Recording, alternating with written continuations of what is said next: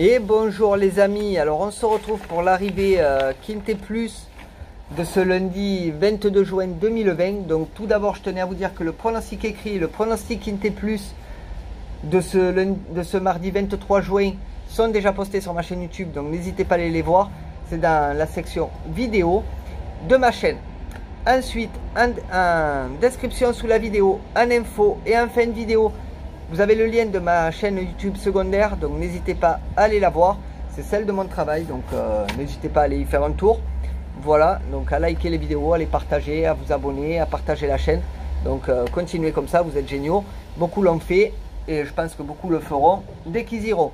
Donc, sur ce, on va attaquer l'arrivée Quintet donc, euh, de ce lundi 22 juin. Donc l'arrivée le 7, le 14, le 11, le 3 et le 13. Donc on a mon favori qui est quatrième malheureusement. Mon tocard qui est cinquième. Voilà. Le 7 qui nous bloque en rentrant premier. En gagnant, il nous bloque.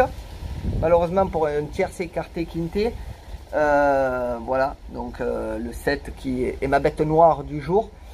Mais bon, on remporte tout de même un 2 sur 4 combiné qui nous fait 19,80. Un multi en 7 qui nous fait 32,40. Et on fait un 4 sur 5 sur la course. Donc c'est pas trop mal parce que euh, ça avait l'air d'être une course piège.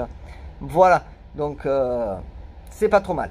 Donc sur ce, je vais vous laisser. Donc n'hésitez pas à aller voir mon pronostic Quintet Plus et le pronostic écrit du Quintet Plus de ce mardi 23 juin.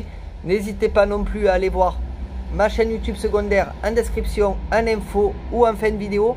Vous avez les liens, donc n'hésitez pas à y aller. Puis n'hésitez pas à liker, à partager et à vous abonner avec les petits logos qui sont là. Sans oublier la petite cloche pour recevoir mes notifications et les vidéos. Puis moi je vous dis à ce soir pour les autres pronos. Allez, ciao ciao les potos